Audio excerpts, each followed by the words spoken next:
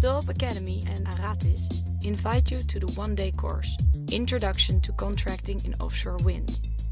Even before the construction of an offshore wind farm, important decisions are made regarding contracting strategy and contract management. From a wind farm's project initiation to operation and maintenance, this course will teach participants all the important facets from a contractual point of view.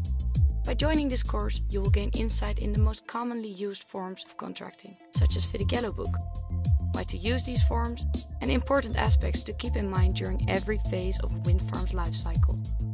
Our expert will provide you with theory which you will directly apply in inspiring case studies. This balance of theory and practical application will give you the opportunity to get a complete insight into the contracting side of offshore wind projects. Are you ready to expand your knowledge in offshore wind contracting? Join us today.